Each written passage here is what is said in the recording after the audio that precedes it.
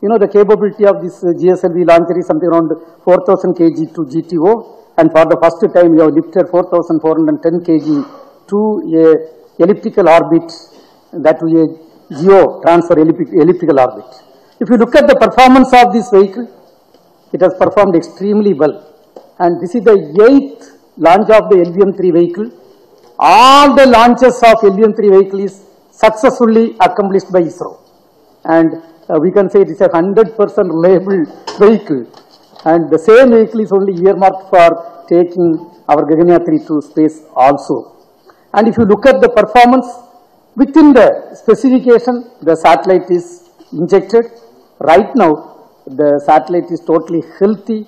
The, all the propulsion system valves, isolation valves are opened and the sa- satellite is healthy and we are going to take by operating the propulsion system of the satellite to the required orbit and this will enhance the communication capability of the country in a very, very big way.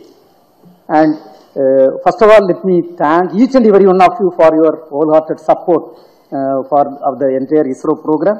And with that, uh, let me uh, congratulate the entire uh, country and ISRO team for this very, very